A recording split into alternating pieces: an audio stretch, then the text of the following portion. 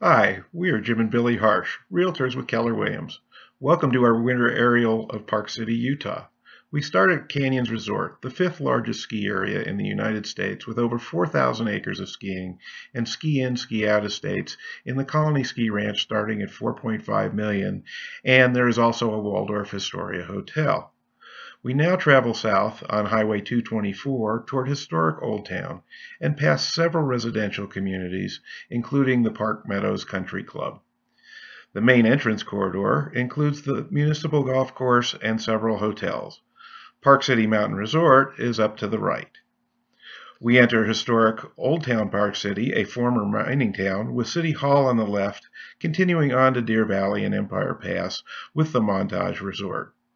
Lower Deer Valley has the Snow Park Lodge at the base of Deer Valley Ski Area and St. Regis Resort. We have now seen three top 10 ski resorts in Park City and retreat from Bald Mountain in Deer Valley back through Old Town. Ski fast and come and see us. Give us a look and visit our website, Unlock Park City, and search the MLS for free for all your real estate needs. Or give us a call at 435 615 6637. Come out and enjoy some of the greatest skiing and snowboarding on the greatest snow on earth, and thank you for watching.